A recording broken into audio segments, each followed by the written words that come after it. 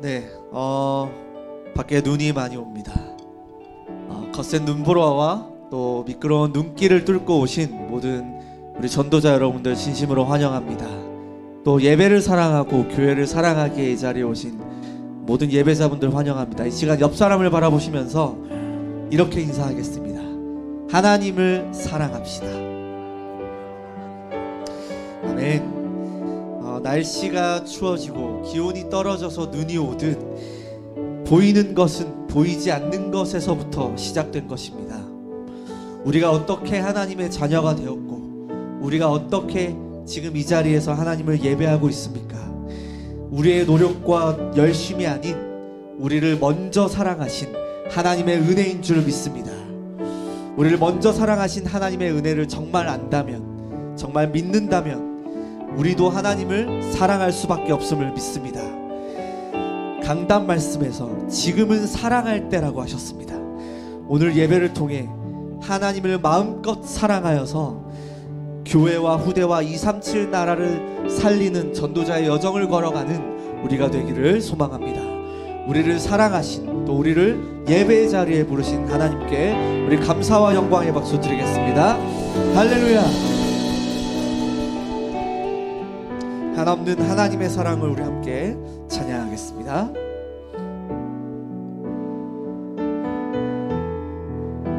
그 크신 하나님의 사랑 그 크신 하나님의 사랑 말로 다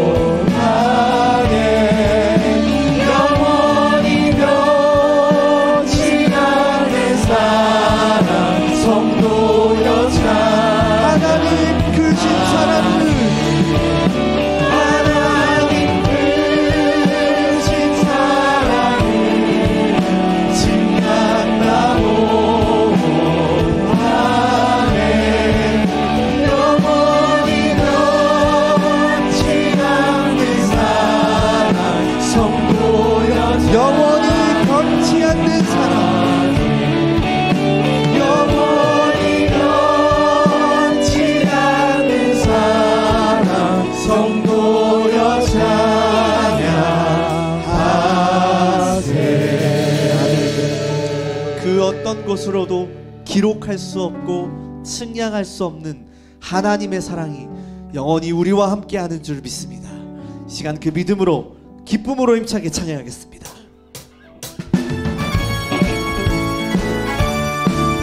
우리를 그리스도를 전하는 십자가 문병으로 부르셨습니다.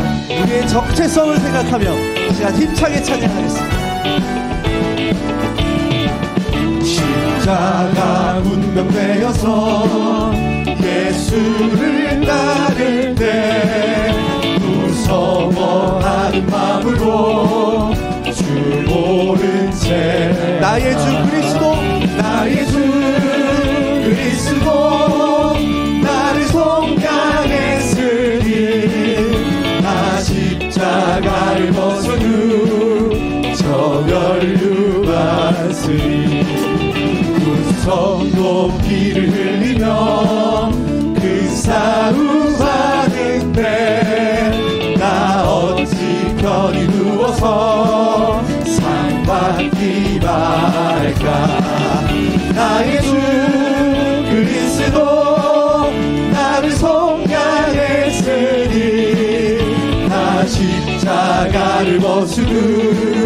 저 멸류관스니 죄악 많은 세상에 수많은 원수는 날 유혹하고 했지만 내 주만 다 아멘. 나의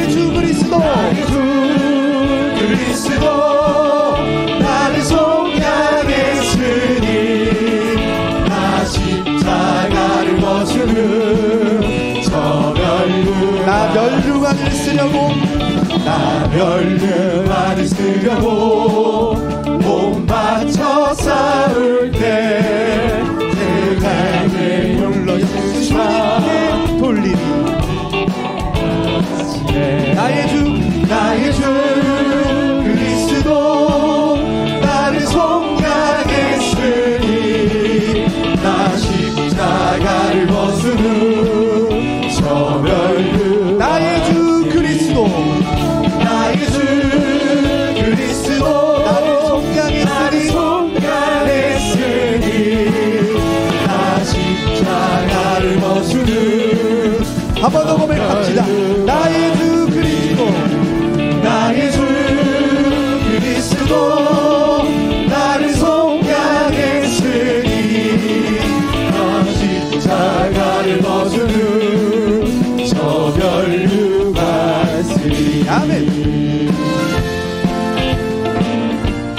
성삼위 하나님이 우리의 목자 되심을 고백합니다.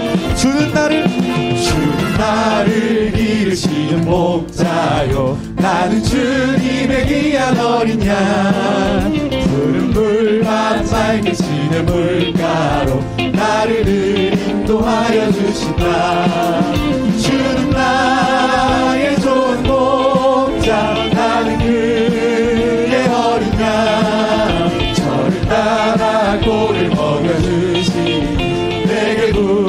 부족함 전혀 없어라. 예쁜 새들 예쁜 새들 노래하는 아침과 노을 비키는 고운하오네.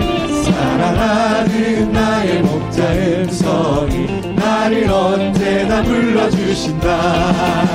주는 나의 좋은 목자. 나는 그의 어린 양 저를 따라 꼴을 먹여주시니 부족함 전혀 없어 못된 짐승 못된 짐승 나를 해치 못하고 거친 비바람 삼지 못하리. 나의 주님 강한 손을 펼치사 나를 주야로 아멘. 주는 나의 주는 나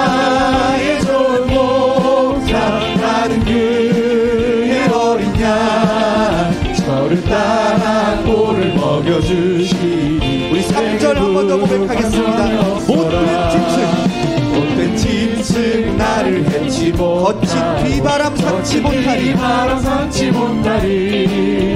나의 주님 강한 손을 나를 주야로 지켜주신다. 나를 주야로 지켜주신다.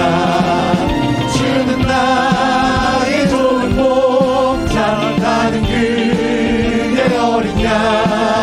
저를 따라 꼴을 먹여주시. 내게 부족 목소리로 고백합시다. 주는 나의 주는 나의 좋은 목자 나는 그의 어린 양 그의 어린 양 저를 따라 꼴을 먹여주시니 내게 부족한 더큰 전혀 목소리로. 주는 나의 주는 나의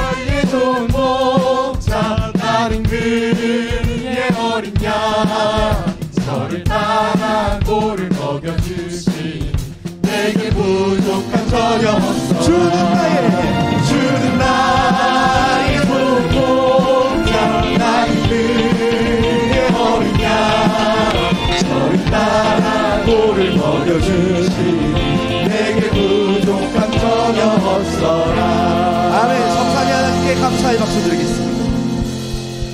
주는 나의 좋은 목자, 내게 부족함 전혀 없어라.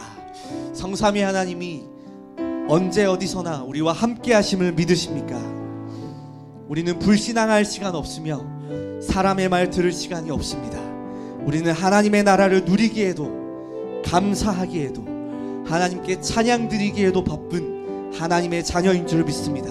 우리의 정체성을 생각하며 내 영혼이 은총 입어 함께 찬양하겠습니다.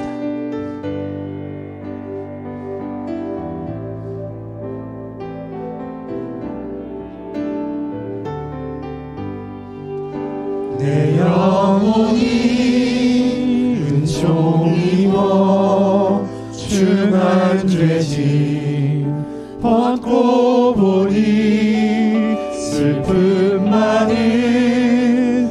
세상도 천국으로 내 나가도다 내 영혼이 은총 우리의 입어. 중한 죄짐 벗고 보니 슬픔 많은 이 세상도 천국으로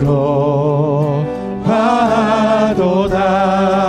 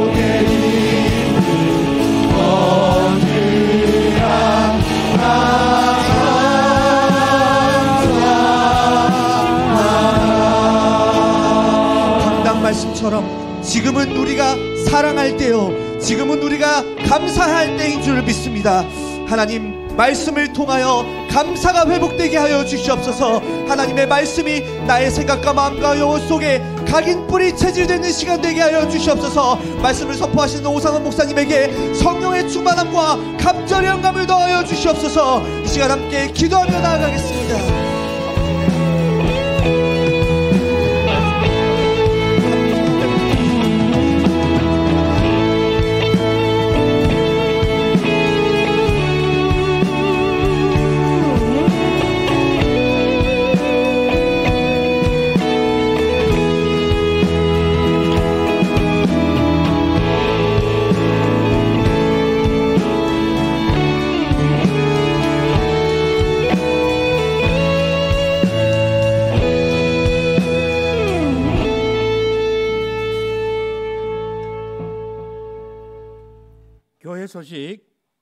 말씀드리겠습니다. 어, 스타트만 2025를 위해서 계속해서 기도해 주시길 바랍니다. 내일 목요 사역자 조장 연합 기도회가 있습니다. 나와 가정과 교회를 살리는 기도의 여정이라는 주제로 어, 말씀을 듣고 또 이렇게 기도를 하게 됩니다. 대상은 교구 사역자 및 중직자 성도들입니다. 모든 분다 어, 오셔도 됩니다. 어, 중요한 것은 10시 10분까지 오셔야 되고요. 제가 말씀드리고 싶은 것은 중식이 제공된다는 겁니다. 네. 식사 대접하시고 싶은 분 있으면 전부 어, 내일 다 모시고 오셔서 말씀을 듣고 함께 하시면 좋겠습니다. 유아 세례를 위한 교육 및 문답입니다. 대상은 부모가 본교회 등록 세례교인으로서 24개월 이하의 아기를 둔 어, 가정입니다. 어, 해당되시는 분들은 유아 세례 받을 수 있도록 인도를 받으시길 바랍니다. 위원회 부서 2024년 총 어, 결산서를 제출해 주시길 바랍니다. 권력 전도 신청을 계속해 주시기를 바랍니다. 나머지 광고는 주보를 참고해 주시기 바랍니다. 오늘 은혜 받고 성취될 하나님 말씀은 시편 103편 1절에서 5절까지 말씀입니다. 시편 103편 1절입니다.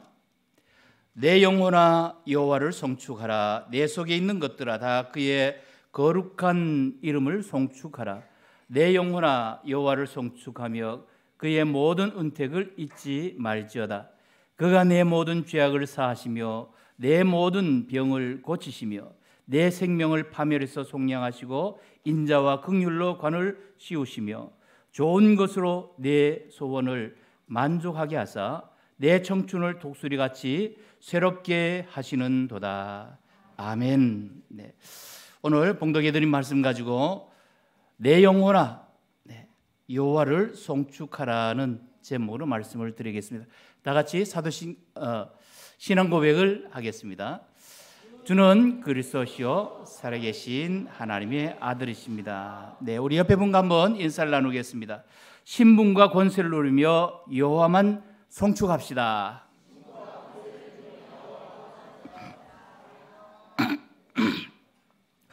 밤사이에 눈이 엄청 많이 왔죠.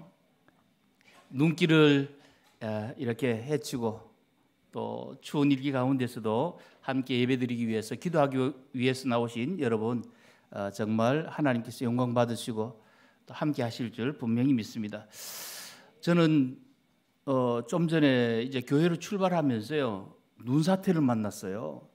아니 무슨 그 어, 집에서 여기 교회 오는데 눈사태를 만났냐 생각하실 수 있는데요. 아침 일어나 보니까 차 위에 그냥 눈이 잔뜩 한 20여 센치 쌓여 있길래 어, 다 치웠잖아요. 치우고 네, 낮에 전부 운행을 하고 오후에 집에 들어갔어요. 근데 제 차가 다른 차보다 조금 더 높아요. 지붕 위에 눈이 쌓여 있는 것은 치우지는 못했어요. 그 낮에 또 눈이 왔잖아요. 그 쌓인 눈이 내가 집에 들어간 사이에 어, 앞창 쪽으로 유리 쪽으로 전부 그냥 다 내려와 있는 거예요. 어, 자칫했으면 제가 시험 들어서 그냥 어, 예배 늦거나 아니면 못 올 뻔했는데 저는 눈 사태를 이기고 왔습니다. 잘했죠? 네. 하나님이 또 어려운 가운데서도 추운 가운데서도 우리를 인도해 주신 것은 하나님 앞에 기도하고 또 응답을 받도록 인도해 주신 줄 믿고요. 오늘 제목 말씀처럼 내 영혼아 여호와를 송축하라. 여호와를 송축하는 이 밤이 될 수 있기를 바랍니다. 오늘 본문의 표제인 어, 표제를 보면요. 다윗의 시라고 되어 있습니다. 다윗이 기록한 것이 맞은데 다윗이 언제 기록한 것인지는 알 수가 없어요. 어떤 상황을 배경으로 기록한 것인지는 알 수가 없습니다. 그런데 한 가지 우리가 알 수 있는 게 있어요. 다윗이 많은 어려움을 겪고 다시 말하면 산전수전을 다 겪고 난 다음에 오늘 본문이 본문을 기록한 것이 아닌가 하는 것을 알 수 있습니다. 어, 본문을 보면 다윗은요 자신의 인생과 또 이스라엘 백성들에게 베풀어 주신 그 은혜를 생각하면서 하나님 앞에 감사하고 또 기쁨으로 노래하는 것을 알 수 있어요.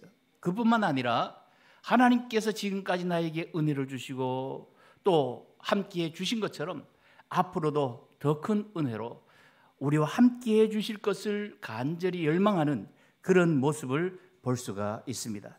1절 2절 말씀을 읽어 드리겠습니다. 내 영혼아 여호와를 송축하라. 내 속에 있는 것들아 다 그의 거룩한 이름을 송축하라. 내 영혼아 여호와를 송축하며 그 모든 은택을 잊지 말지어다. 아멘. 여기 송축이란 말은요 인간 면에서 인간 측면에서는 우리 성도들 입장에서는요 하나님 앞에 무릎을 꿇는다는 그런 뜻이에요. 그리고 하나님의 측면에서 볼 때는 복을 주신다는 의미입니다. 무슨 말입니까? 송축한다. 그 말은 내가 하나님 앞에 무릎을 꿇고 나를 겸손히 낮추고 기도하고 하나님을 찬양하게 될 때 하나님은 우리 하나님의 자녀들에게 축복하신다는 사실이에요. 오늘 저와 여러분은 나를 낮추고 어떻게 해요? 하나님을 높여드리는 하나님을 송축하는 그런 삶을 날마다 살아야 될 줄 믿습니다. 오늘 저와 여러분은 나를 낮추면 낮출수록요 예, 하나님은 더 높아지세요. 오늘 저와 여러분은 항상 나를 구원해 주시고 나에게 축복하시는 이 하나님을 높여야 될 네, 은혜와 복을 우리에게 주셨습니다. 1절과 2절에서 보니까 송축하라는 말이 세 번이 나오잖아요. 우리가 최고의 경배와 최고의 찬양으로 하나님께 영광 돌려야 된다는 것을 알 수 있습니다. 자, 그런데 다윗이 여호와를 송축하라는 이 말에는요. 어, 이스라엘 자손에게 말하기 전에 이스라엘 백성들에게 여호와를 송축하라 말씀하기 전에요. 자기 자신에게 먼저 명령한 것을 알 수 있습니다. 누구에게 한 말이라고요? 자기 자신에게 여호와를 송축하라 이렇게 말씀한 것을 알 수 있어요. 자신의 깊은 속에서부터 네, 하나님을 찬양하고 싶은 마음이 솟구쳐났던 거예요. 그래서 누구에게 하나님을 송축하자 그 말을 하기 전에 이스라엘 백성들에게 하나님을 송축하라 말하기 전에 나 자신이 먼저 하나님 앞에 여호와를 송축하라 자신 자기 자신에게 명령한 것을 알 수 있습니다. 그 어, 그리고 오늘 본문에 보니까 하나님의 모든 은택을 잊지 말지어다 했습니다. 하나님이 내게 주신 은혜, 그 은혜를 잊지 말라고 말씀을 했습니다. 우리 속담에 이런 말이 있죠. 어, 원수는 네, 물에 새기고 은혜는 돌에 새긴다는 그런 말이 있습니다. 그런데 대부분의 사람들은요 반대로 하죠. 원수는 어디에 새깁니까? 원수는 돌에 새기고 은혜는 물에 새겨요. 받은 은혜가 커도 쉽게 잊어버립니다. 그런데 오늘 다윗은 하나님으로부터 받은 은혜를 생각하면서 그 은혜를 어디에 대해서 새겼습니까? 물에 새긴 것도 아니고요. 돌에 새긴 것도 아니에요. 만약에 돌에 새기면 지워지지 않고 오래도록 볼 수 있겠죠. 그런데 돌에 새겨 놓으면 어떤 단점이 있어요? 새겨 놓은 돌에까지 가지 않으면 알 수가 없어요. 그런데 다윗은 하나님의 은혜를 어디에다 쓰겠습니까? 마음에 쓰겠어요. 신비에 쓰겠습니다. 오늘 저와 여러분도 마찬가지입니다.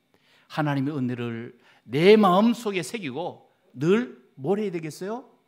하나님을 송축해야죠. 하나님께 영광 돌리는 그런 삶을 살아야 되겠습니다.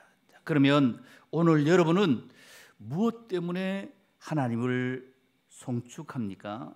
저는 한 해 동안요 골육전도 담당을 하면서 정말 하나님 앞에 감사하지 않을 수가 없어요. 저는 항상 어, 골육 현장에 갈 때마다 두렵고 떨리는 마음으로 갑니다. 항상 그랬어요. 내가 그 영혼을 살릴 수 없기 때문에 예, 내가 무능한 것을 알기 때문에 항상 두렵고 떨리는 마음으로 갔어요. 그리고 현장을 대할 때마다 또 전도 대상자들을 만날 때마다 강하고 담대한 마음으로 하나님 함께 하시니까요. 말씀을 전하고 또 생명 살리는 그런 일을 감당해 왔습니다. 그 결과 지금까지 97% 이상 네, 영접을 하고요. 또 많은 사람들이 세례를 받는 그런 은혜를 하나님이 주셨습니다. 그런데 요즘 들어서 문제가 생겼어요. 어떤 문제가 생겼냐? 대구 현장에서 복음을 전하는데요. 말씀을 듣던 전도 대상자 어머니가 느닷없이 그런데 목사님 너무 잘생겼어요. 말씀이 은혜된다 이렇게 이야기해야 되는데 목사님 너무 잘생겼어요 그래요.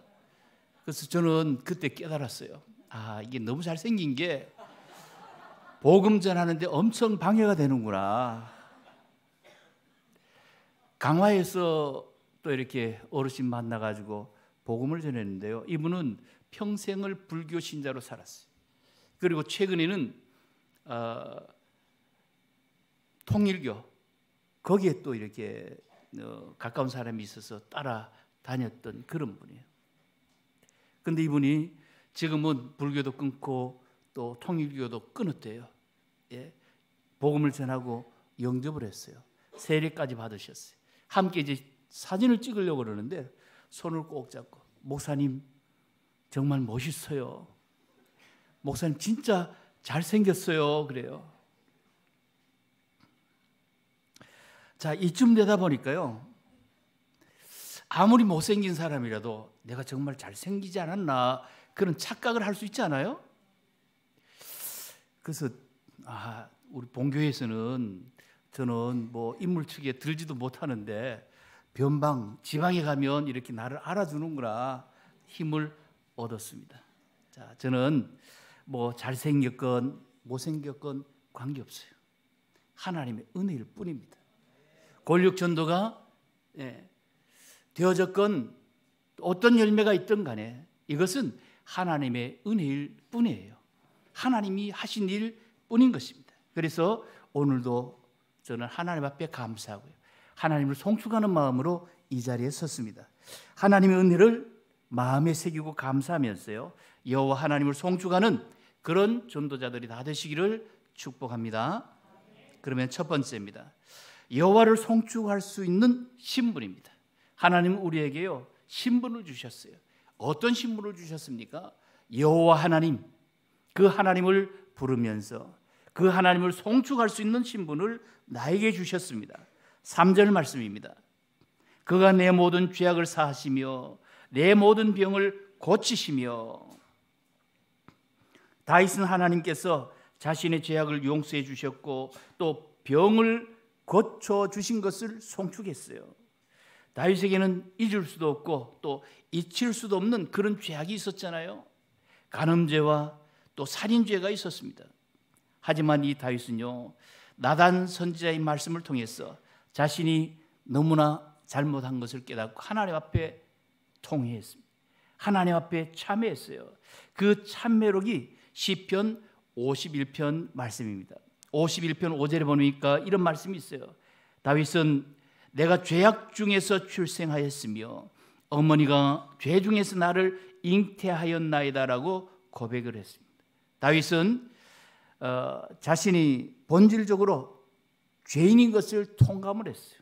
죄악 중에 태어나서 죄를 짓고 살아가고 있는 절망 어, 심판받을 수밖에 없고 정말 에, 지옥 갈 수밖에 없는 자신의 신분을 보면서요.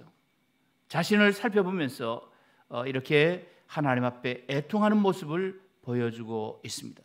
이러한 죄악된 자신이 하나님 앞에서 자신의 죄를 용서받은 것, 그것을 생각할 때 감사하지 않을 수가 없었던 겁니다. 감사와 감격으로 하나님을 송축하지 않을 수가 없었던 거예요. 그리고 본문에서 뭐라고 그랬습니까? 내 병을 고치시며 네, 우리를 죄악 가운데서 건져 주셨을 뿐만 아니라 또 질병 가운데서도 고쳐 주셨다 말했습니다. 여기 내 병을 고치시며라는 말씀은요. 찢어진 것을 꿰매 주신 것을 말합니다. 상처나고 또 찢어진 것 하나님께서 친히 의사가 되셨어요. 꿰매 주시면서 치료해 주시고 완전하게 해 주시는 것을 말하고 있는 것이에요. 다시 어, 다윗은 자신이 지은 죄로 인해서 고통스러울 때 하나님께서 다윗과 함께 하시면서 다윗의 죄를 용서해 주셨고요. 다윗을 회복시켜 주시는 것을 너무나 절감했던 것입니다. 그래서 오늘 다윗은 하나님을 네, 송축하라고 자기 자신에게 명령하고 있는 것을 알 수 있습니다. 오늘 저와 여러분도 마찬가지입니다. 저도 여러분도 하나님은 영육간의 모든 질병에서 우리를 건져 주셨고 나를 인도해 주셨다. 그 은혜가 너무나 감사하고 감격스러워서 오늘도 송축하는 그런 하나님의 자녀들이 되시기를 바랍니다. 우장산 교구 소속이셨던 우리 고 최순녀 어, 권사님이요. 파킨슨 병과 폐암 사기로 투병하시다가 지난 금요일 날 소천하셨잖아요. 그런데 소천하시기 이틀 전에 가장 보고 싶었던 사람 중에 한 사람으로 제 이름을 거명하셨대요. 그 오상훈 목사 보고 싶다 이렇게 해서 어, 중환자실에서 어, 일반 병실로 계실 때 어, 올라가셨 제가 찾아갔어요. 문병을 하고 말씀을 드렸어요. 그때 요한복음 14장 26절 27절 말씀을 드렸습니다. 그 말씀 가지고 보혜사 성령님 네, 길게 말씀드릴 것 드릴 수도 없어요. 너무나 힘들게 호흡하고 있는 그런 상황이었잖아요. 어, 보혜사 성령님, 하나님은 권사님과 성령님으로 함께 하신다. 지금 육신적으로는 가장 고통스럽고 힘들, 힘든 그런 시각이지만 성령님이 함께 하시면서 어쩌면 지금 이 시각이 권사님에게는 가장 성령 충만한 시간일 수 있다. 하나님의 영 성령님이 함께 하시는 것을 확신하면서 믿음으로 기도하고 또 하나님 보자 바라보자 말씀을 드렸어요. 어떻게 보면 권사님이 질병 때문에 사망한 것이 아닌가 그렇게 생각할 수 있는데요. 저는 절대 질병 때문에 사망했다 그렇게 보지를 않습니다.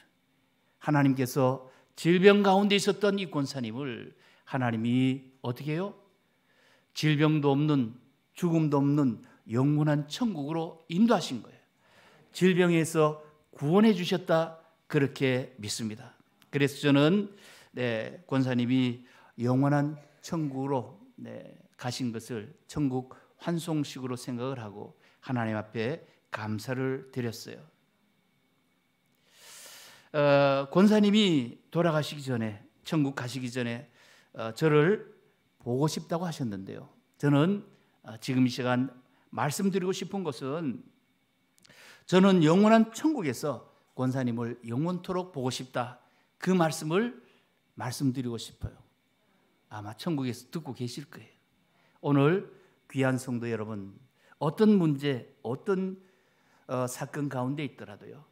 하나님은 우리를 그 문제 가운데 그냥 두기를 원하지를 않습니다. 죄악 가운데서 건지기를 원하셨고요. 질병 가운데서 우리를 치유해 주시기를 원하시고 인도해 주고 계십니다. 사제를 보세요. 내 생명을 파멸해서 속량하시고 인자와 긍휼로 관을 씌우시며 여기 파멸은 무덤, 구덩이, 썩음 등을 의미하죠. 그리고 어, 속량한다는 말은 되찾는다는 의미예요. 형제가 네, 땅을 팔아버렸어요. 그런데 다른 사람이 그 땅을 사서 다시 그 형제에게 돌려주는 것 그런 의미를 가지고 있습니다. 다윗은 죽음과 같은 자신의 삶을 하나님께서 살려주셨고요. 자신의 죄악을 다 깨끗이 도말해 주셨고 또 자신을 온전하게 해 주셨다고 고백하고 있습니다. 다윗은 누구보다도 자신의 생명을 파멸해서 속량해 주시는 그 하나님의 은혜를 뼈저리게 느꼈던 거예요. 그렇기 때문에 하나님을 속량 어, 뭡니까 송축할 수가 있었던 겁니다. 요셉도 마찬가지죠. 요셉에게 닥친 파멸의 문제가 무엇이었습니까? 형제들이 이 어, 요셉을 죽이려고 우물에 던져버렸잖아요. 이 우물은 요셉에게 있어서는 파멸이었어요. 뿐만 아니라 이 형제들이요. 이 요셉의 이름을 형제들의 이름에서 영원히 지워버리기 위해서 노예로 팔아버린 거예요. 이것이 파멸입니다. 그리고 영원히 헤어날 수 없었던 감옥의 문제, 요셉에게서는 파멸이었어요. 그런데 하나님께서 이 요셉을 그 파멸 가운데 두지 않으셨어요. 그 가운데서 건지신 것을 볼 수가 있습니다. 오늘 저와 여러분도 어떤 형편 처지에 있다고 하더라도요. 정말 그 형편이 파멸의 경지에 이르렀다고 하더라도 하나님께서는 거기에 그냥 두시지를 않는다는 사실이죠. 하나님은 오늘도 어떻게 하십니까? 긍휼히 여겨 주셔요. 인자와 긍휼로 관을 씌우신다 말씀을 했습니다. 여기 인자는 언약에 기초한 계속되는 사랑을 말하고 있습니다. 독생자 예수를 통해서 우리를 구원해 주신 그 하나님의 사랑은 지금도 계속되고 있어요. 앞으로도 계속 될 것입니다. 영원토록 우리에게 인자와 긍휼로 관을 씌우시는데 이 긍휼은 여인이 잉태하면 온 힘을 다해서 태아를 보호하잖아요.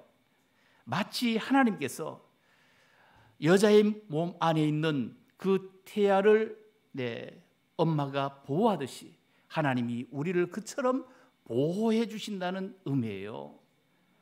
하나님께서 이처럼 우리를 보호해 주시고 또 인도해 주시기만 하면 문제될 게 없는 거예요. 이런 은혜를 다윗에게만 주신 것이 아니고요. 오늘 이 밤에 나오신 눈길을 헤치고 나오신 또 눈 사태를 이고 나온 저와 여러분에게 똑같은 은혜로 하나님 주실 줄 믿습니다. 어떤 랍비가 여행 중에요. 텐트를 치고 잠을 자게 되었는데 밤중에 사자의 울음소리가 나서 네, 밖으로 나가봤잖아요. 그런데 이 어, 랍비가 타고 다녔던 나귀가 없어졌어요. 사자가 물고 간 것이죠. 그리고 다시금 텐트에 들어와서 잠을 자는데 이번에는 닭이 그냥 울부짖는 소리가 나서 또 뛰쳐나가 봤더니만 네, 늑대가 물고 가버린 거예요. 여기에다가 거센 바람이 세차게 몰아치면서 어, 등잔에 불이 꺼지고 또 등에 기름마저 다 엎질러지고 말았어요. 그래서 이 랍비는요 어, 하나님께 원망스러운 기도를 드린 것이죠. 가진 것 다 잃어버렸죠. 네. 이렇게 하나님을 원망할 수밖에 없는 그런 상태에 있었는데 아침이 되어서 텐트에서 밖에 나가 보니까요. 어, 저 아랫역의 마을에서 연기가 피어오르는 것이 보였어요. 나중에 알고 보니까 어, 산적들이 나타났어요. 그 마을을 전부 습격해서 완전히 다 예, 뺏아가 버리고 사람들은 죽이고 불태워버린 거예요. 마을 전체를 불태워버렸어요. 그때 이 랍비는 깨달았어요. 만약에 나귀가 살아 있었으면 닭이, 닭이 어, 계속해서 어? 울부짖고 있었으면 또 뭡니까 등불이 켜져 있었으면 마을로 가지 않고 어떻게 해요? 랍베기로 와서 랍비도 죽고 말았을 거예요. 그제서야 그 사실을 깨달은 이 랍비는 하나님 앞에 감사하면서요. 하나님을 송축했다는 기록을 볼 수 있습니다. 오늘 저와 여러분은 내가 깨닫지 못한 부분까지도 하나님께서는 함께 하시고요. 또 우리에게 은혜를 베푸신다 하는 것을 기억을 하시면서요. 하나님의 사랑을 믿고 감사는 어, 그런 믿음의 사람들이 되어야 될 줄 믿습니다. 여호와 하나님이 예수 그리스도를 통해서 나의 모든 죄악을 사해 주신 것을 기억을 하고요. 날마다 여호와 하나님을 송축하시기를 축원합니다. 네, 두 번째입니다. 여호와를 송축할 수 있는 권세예요. 하나님은 우리에게 여호와를 송축할 수 있는 신분을 주셨어요. 그뿐만 아니라 여호와를 송축할 수 있는 권세를 주셨습니다. 5절입니다.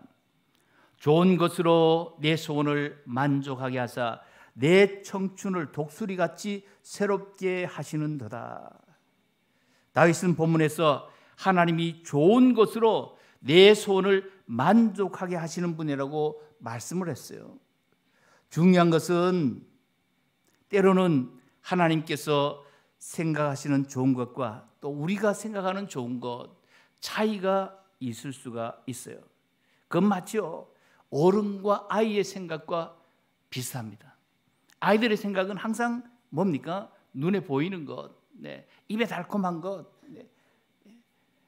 이런 것들만 찾잖아요. 어르신들의 생각과는 다를 수가 있는 거예요. 마치 우리의 생각이 그런 거예요. 나는 늘 항상 지금 이 시간에 눈에 보이는 것, 네. 정말 달콤해 보이는 것을 구하지만 하나님께서는 영원한 것, 변하지 않는 축복을 우리에게 준비해 놓고 있는 거예요. 우리가 믿고 오지 않은 하나님은 좋은 것으로 어떻게 하신다고요? 만족하게 하신다. 네, 좋은 것으로 만족하게 하신다. 지나고 보면 하나님께서 이렇게 나에게 좋은 것으로 준비해 두셨구나. 이런 응답을 나에게 주셨구나. 하나님을 찬양할 수밖에 없는 거예요. 오늘 저와 여러분은 하나님이 내게 주신 이 귀한 은혜, 이 축복을 누리면서 살아가는 것이 하나님의 권세를 누리는 삶입니다. 날마다 우리는요, 복음 안에서 흑암 권세를 어떻게 버려야 되겠습니까? 흑암 권세는 꺾어버리고 하나님께서 내게 주신 무슨 권세요? 축복 권세. 이걸 누리고 살아가는 여러분이 되시기를 바랍니다. 6절입니다. 여호와께서 공의로운 일을 행하시며 억압당하는 모든 자를 위하여 심판하시는도다. 그의 행위를 모세에게 그의 행사를 이스라엘 자손에게 알리셨도다. 여호와는 긍휼이 많으시고 은혜로우시며 노하기를 더디하시고 인자하심이 풍부하시도다. 자주 경책하지 아니하시며 노를 영원히 품지 아니하시리로다. 아멘. 다윗은 이스라엘 백성을 향해서. 여호와 하나님이 베풀어 주신 그 은혜에 대해서 어, 증거하고 있습니다. 하나님께서는 아브라함과 맺은 언약을 어, 기억을 하시고 400년 동안 애굽에서 노예 생활하던 이스라엘 백성들을 네, 출애굽 시켜 주셨잖아요. 홍해를 육지같이 건너게 해 주셨어요. 하나님의 백성으로 삼아 주시면서 참된 자유를 주셨습니다. 그런데 이스라엘 백성들은 어떻게 했습니까? 광야 생활 가운데 내내 불평하고 불만했어요. 그 정도가 아니라 금 송아지로 우상을 만들어 놓거든요. 그것이 자신들을 인도해 내준 네, 하나님이라고 이렇게 어, 우상을 섬겼어요. 그리고 애굽에서 먹던 생선, 오이, 참외, 부추, 파, 마늘 네, 먹고 싶은 것도 굉장히 많은데요. 이것이 먹고 싶다고 어떻게 해요? 애굽으로 돌아가고 싶다. 애굽으로 돌아가자. 늘 하나님을 원망했어요. 하나님이 주신 신분과 권세를 놓쳐버린 이들의 삶이었습니다. 그럼에도 불구하고 하나님께서 가나안 땅에 들어갈 수 없었던 이 이스라엘을 어떻게 했어요? 가나안 땅으로 인도해 주셨어요. 가나안 땅의 주인공이 될 수 있도록 축복해 주셨습니다. 하나님은 그들에게 은혜와 긍휼로 관을 씌워 주신 것을 알 수 있어요. 그래서 다윗은 하나님 앞에 무릎을 꿇고 송축하는 것이 마땅하다고 말씀하고 있습니다. 10절 말씀 보세요. 우리의 죄를 따라 우리를 처벌하지 아니하시며 우리의 죄악을 따라 우리에게 그대로 갚지 아니하셨으니 이는 하늘이 땅에서 높음 같이 그를 경외하는 자에게 그의 인자하심이 크심이로다. 아멘. 자, 여기 보니까 죄라는 말은 관역에서 벗어났다는 의미잖아요. 죄악이라는 말은 구부러진 것, 왜곡된 것을 뜻하는 말입니다.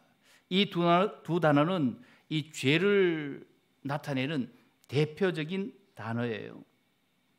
우리는 하나님의 말씀을 관역으로 삼지 않고 네, 내 마음대로 내 뜻대로 살아온 적이 한두 번이 아니에요. 그런데도 불구하고 하나님께서는 오늘 저와 여러분을 죄를 따라서 처벌하지 않았다 그랬습니다. 죄악을 따라서 네, 처벌하지 않으신 것을 말씀해 주었어요.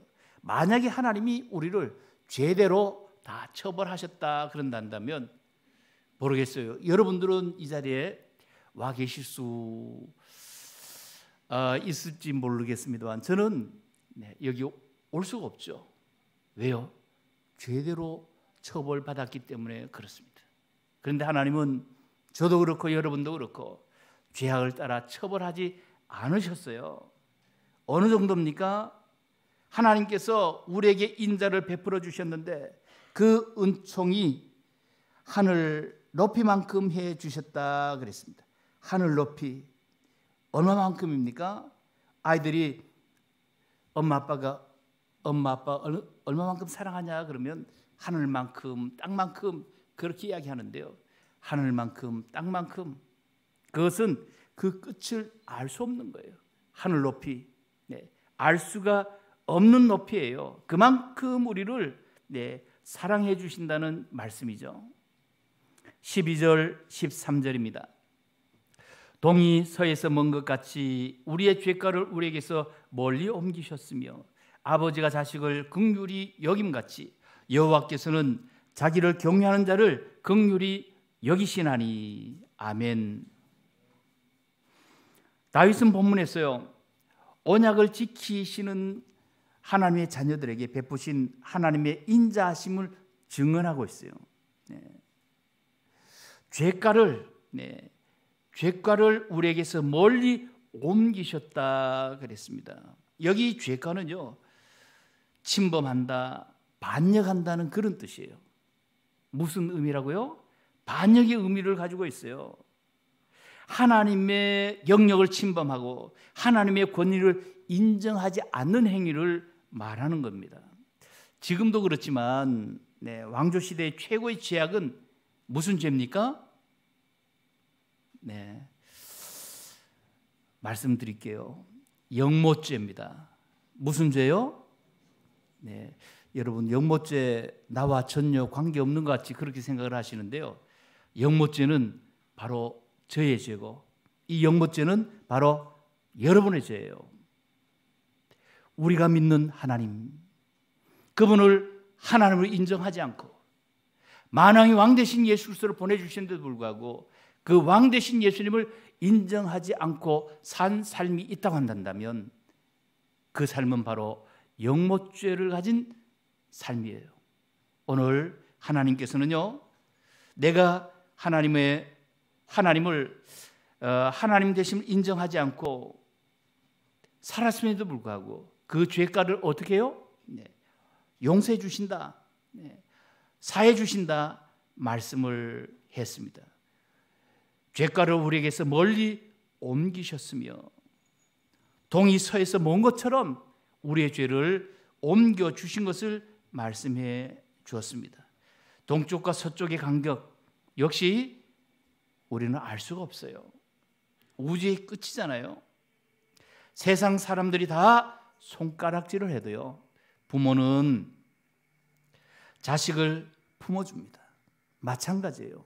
하나님께서는 죄와 사망의 문제로 영원히 멸망할 수밖에 없는 우리의 문제를 나의 아버지 되신 하나님이 나를 품어주세요.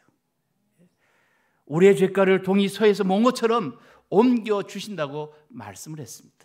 오늘 우리 귀한 성도 여러분, 하나님께서는 나를 이처럼 사랑하시고 나에게 이처럼 참된 신분과 권세를 주시기 위해서 어, 인도해 주셨구나.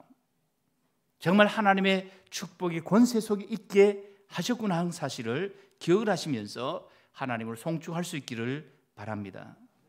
14절입니다. 이는 그가 우리의 체질을 아시며 우리가 다시 먼지일 뿐임을 기억하심이로다. 인생은 그날이 풀과 같으며 그 영화가 들의 꽃과 같도다. 그것은 바람이 지나, 어, 지나가면 없어지나니 그 있던 자리도 다시 알지 못하거니와 여호와의 인자심은 자기를 경외하는 자에게 영원부터 영원까지 이르며 그의 의는 자손의 자손에게 이르리니 곧 그의 언약을 지키고 그의 법도를 기억하여 행하는 자에게로다. 아멘. 하나님께서 우리의 죄를 멀리해 주시고 또 품어 주시는 것은요. 하나님께서 우리를 지으신 분이시고 하나님은 우리를 지으신 분이시고 우리는 어, 흙으로 지어진 줄 알기 때문에 오늘 저와 여러분은 하나님을 송축해야 되는 거예요. 여기 먼지란 단어는요. 창세기 2장에 나오는 아담을 지으실 때 하나님이 흙으로 지으셨잖아요. 그 흙이나 오늘 여기 본문에 나오는 먼지 같은 어, 단어입니다. 하나님은 흙으로 사람을 지으셨고 우리는 어떤 존재예요? 먼지와 같은 존재입니다. 먼지와 같은 보잘것없는 존재예요. 우리는 먼지일 뿐만 아니라 오늘 본문에 풀과 같고 꽃과 같다 그랬어요. 화무는 11홍이라는 그런 말이 있잖아요. 예. 아무리 꽃이 아름다워도요. 10일 가는 꽃이 없다. 그런 의미예요. 자, 그런데 여호와의 인자하심은 어떠하다 그랬습니까? 영원부터 영원까지 이른다 그랬어요. 여호와의 인자하심, 하나님의 그 크신 사랑과 축복은 영원에서부터 영원까지 이른다 말씀을 했어요. 이 말씀은 하나님이 우리에게 주신 권세가 영원하다는 말이에요. 오늘 하나님이 내게 주신 신분, 내게 주신 권세, 이것은 영원하다 하는 사실을 확신하시면서요. 여호와 하나님이 예수 그리스도를 통해 나에게 주신 영원한 권세를 기억하고 날마다 여호와 하나님을 송축하시기를 바랍니다. 결론입니다. 다윗은 하나님을 향한 송축은 이 땅에서뿐만 아니라 하늘에서까지 확대되는 것을 말씀을 하고 있어요. 그 말씀이 19절 이하에 나와 있습니다. 19절입니다. 여호와께서 그의 보좌를 하늘에 세우시고 그의 왕권으로 만유를 다스리시도다. 능력이 있어 여호와의 말씀을 행하며 그의 말씀의 소리를 듣는 여호와의 천사들이여 여호와를 송축하라. 그에게 수종들며 그의 뜻을 행하는 모든 천군이여 여호와를 송축하라. 여호와의 지으심을 받고 그가 다스리시는 모든 곳에 있는 너희여 여호와를 송축하라. 내 영혼아 여호와를 송축하라. 아멘. 읽어드린 말씀 가운데서도 송축하란 말이 네 번이나 나옵니다. 여호와의 천사들이여 모든 천군이여 그가 다스리는 모든 곳에 있는 너희여 내 영혼아 여호와를 송축하라고 했습니다. 자, 그러면 왜 우리가 여호와를 송축해야만 합니까? 우리가 믿고 의지하는 예수 그리스도가 보좌에서 참된 왕으로서 저와 여러분을 다스려 주고 계시기 때문에 그래요. 전에는 복음을 깨닫기 전에는요. 마귀가 내 인생의 주인이었어요. 아비 노릇하고 나의 인생의 왕 노릇했어요. 우리의 인생의 왕이 바뀌었잖아요. 예수 그리스도를 믿음으로 말미암아 예수님이 참된 왕이 되셨어요. 그 왕 되신 예수님이 오늘도 보좌에서 저와 여러분을 다스려 주고 계시는 겁니다. 우리는 그 예수 그리스도를 바라보면서요.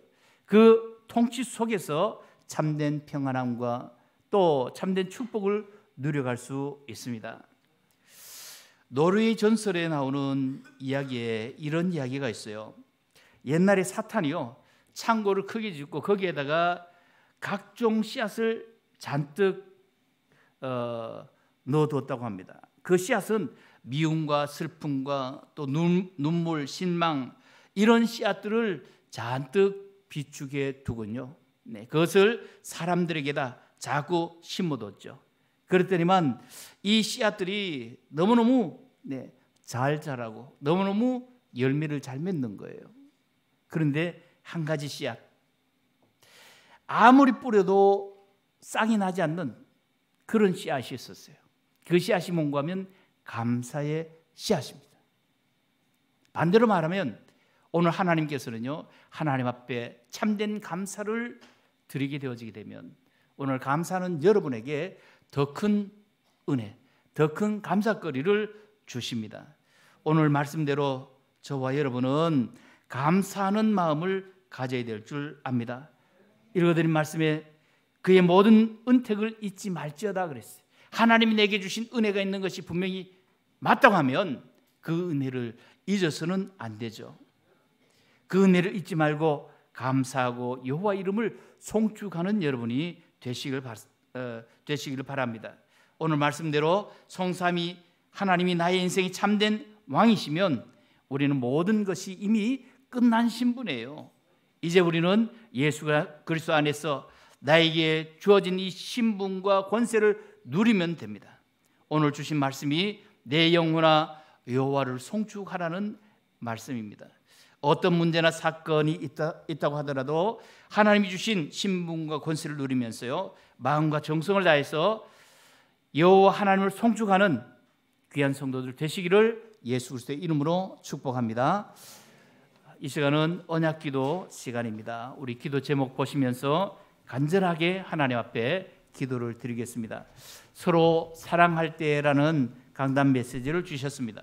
처음부터 들은 십자가 사랑의 복음 체질과 또 사랑의 실천으로 어, 복음의 선한 영향력을 입히기를 위해서 기도해 주시고요. 오늘 주신 말씀이 내 영혼아 여호와를 송축하라는 말씀입니다.